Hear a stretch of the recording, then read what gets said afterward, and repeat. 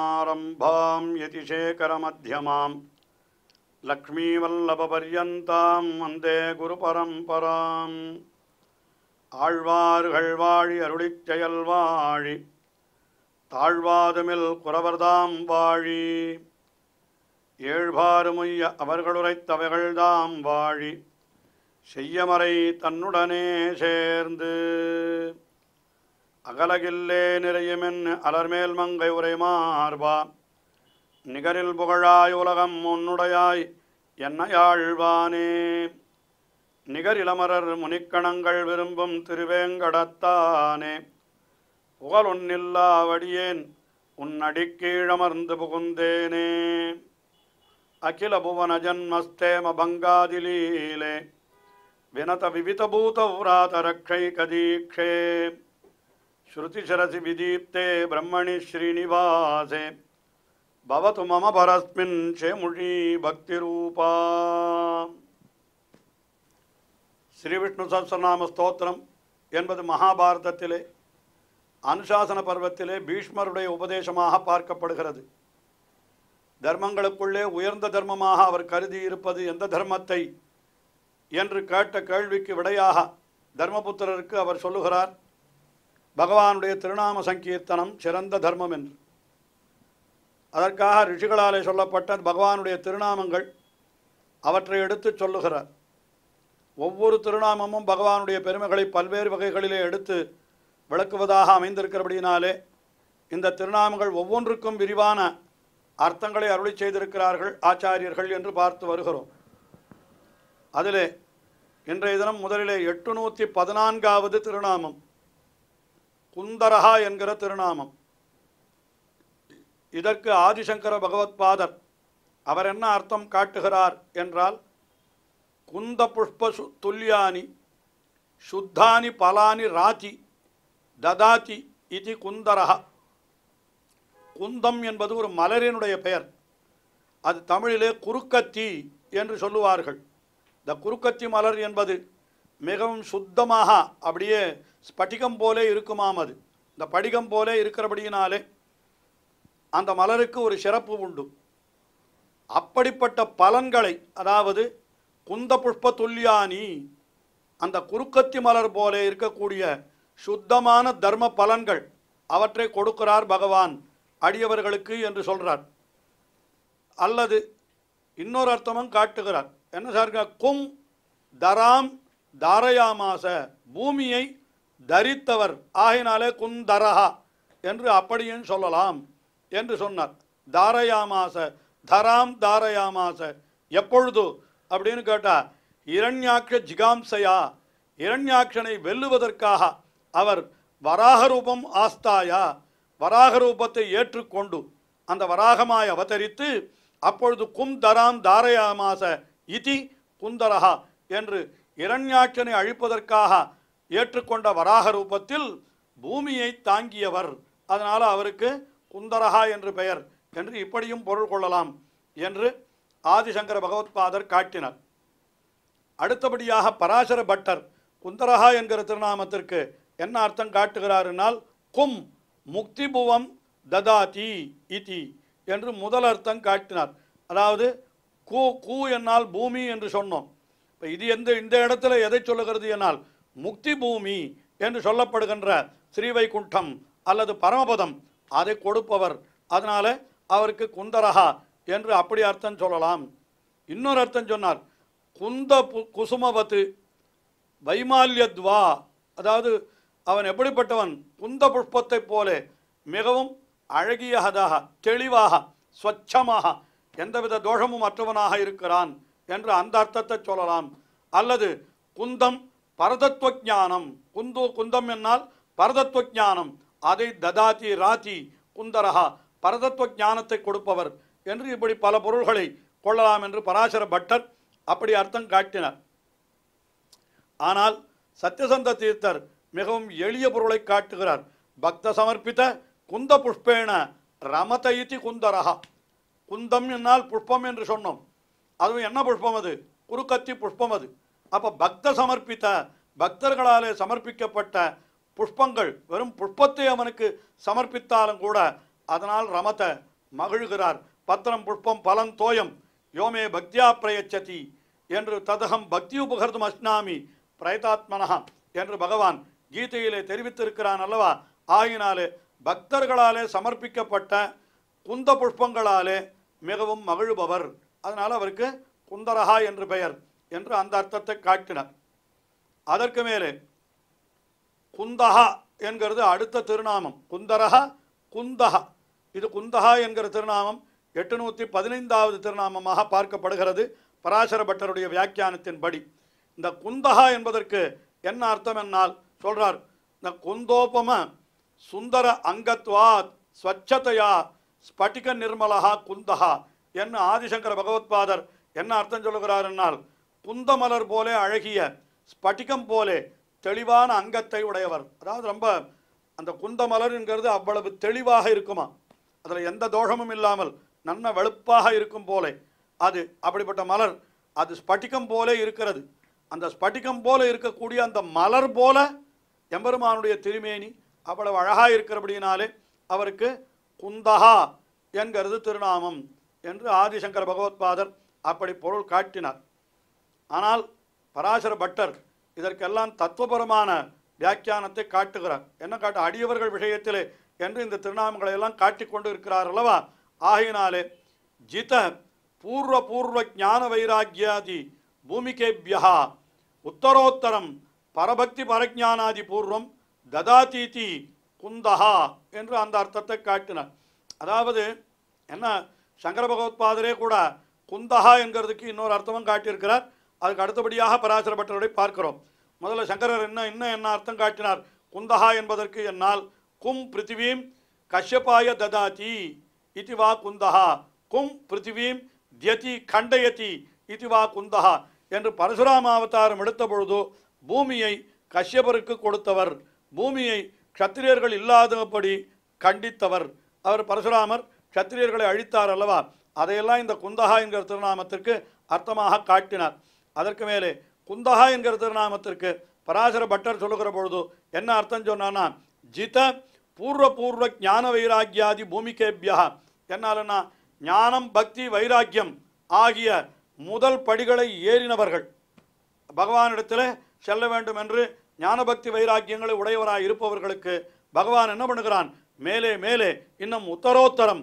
என்ன கொடுக்கிறான் என்னால்? பரபக்தி பரஜான பரமபக்தி முதலானவற்றை அவர்களுக்கு கொடுக்கிறான் என்று அதாவது முதலிலே நாம் எம்பெருமானை பற்றி உள்ளபடி அறிந்து கொள்ள வேண்டும். அது ஞானம். வைராக்கியம் என்னால் என்னன்னா பக்தி என்னால் என்ன? அவனிடத்துல ஈடுபாடு. மூன்றாவது வைராக்கியம் என்னால் அவனை தவிர மற்ற விஷயங்களிலே நம்முடைய மனத்தை செலுத்தாமல் இருத்தல் என்று இப்படி படிப்படியாக ஒவ்வொன்றாக நாம் செய்தோமானால் அதற்கு மேலே பகவானும் கூட நமக்கு என்ன கொடுப்பான்னால் நமக்கு பரபக்தி பரஜானம் பரமபக்தி என்று அது என்னென்ன உண்டோ அது அனைத்தனையும் கொடுப்பான் என்று இதெல்லாம் வேதங்களிலே சாஸ்திரங்களிலே சொல்லப்பட்ட விஷயம்.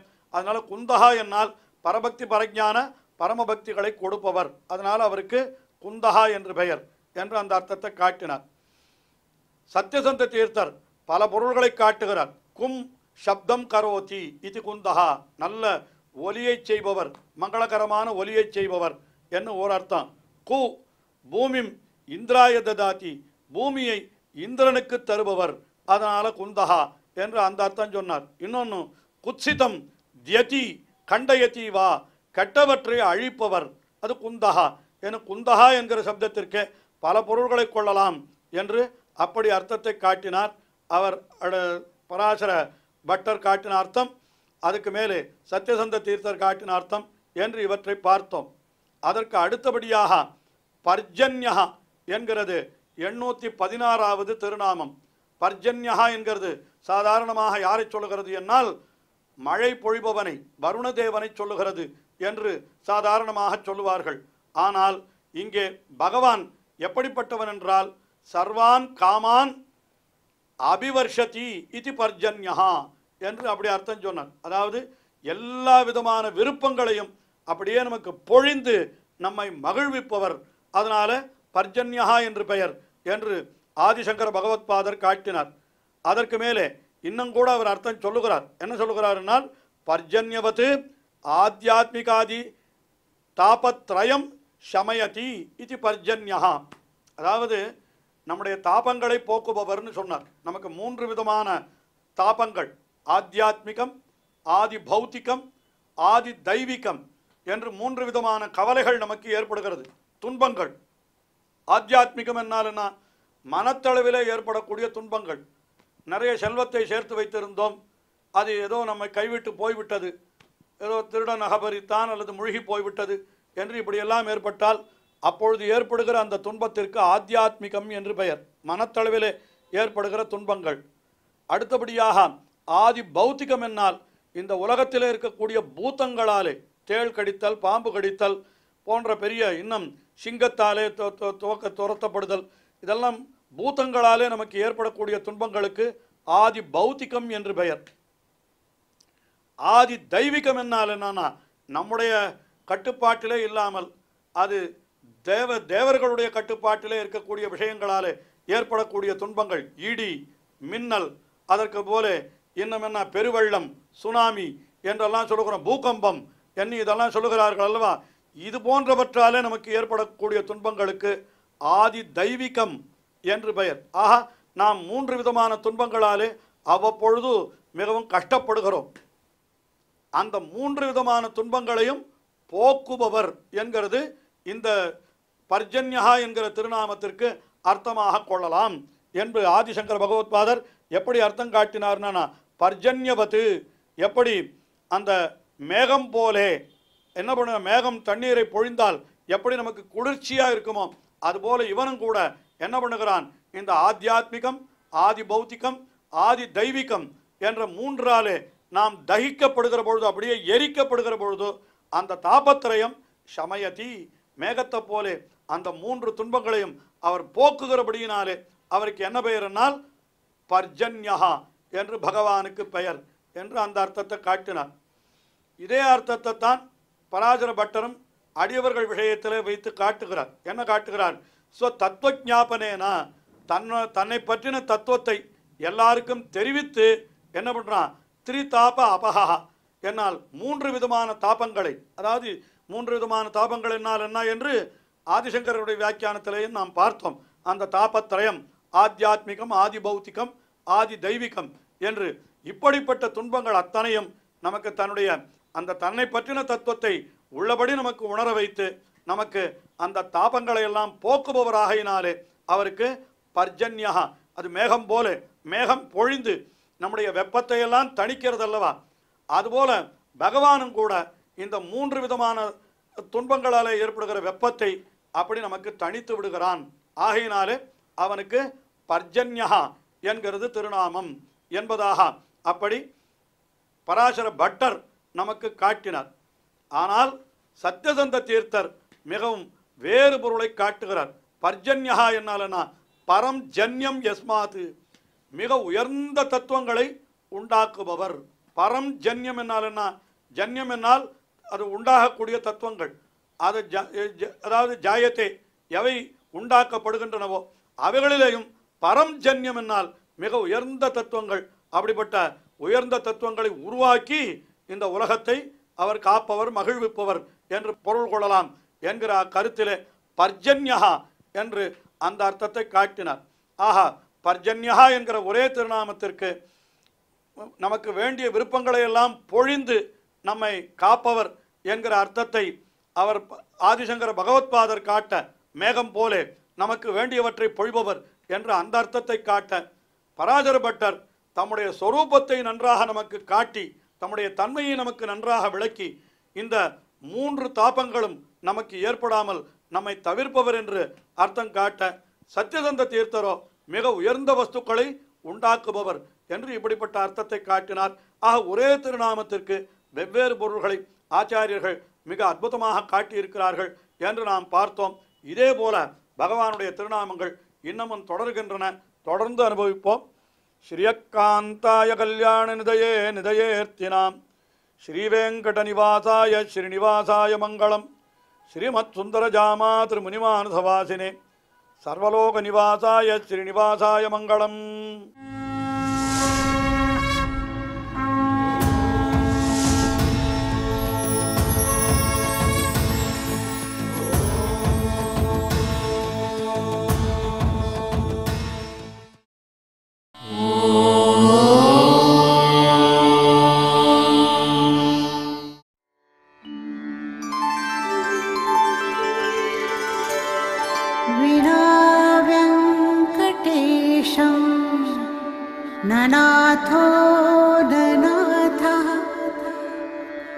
सदा वेङ्कटेशं स्मरामि स्मरामि। हरे वेङ्कटेश प्रसीद प्रसीद। प्रियं वेङ्कटेश प्रयच्छ प्रयच्छ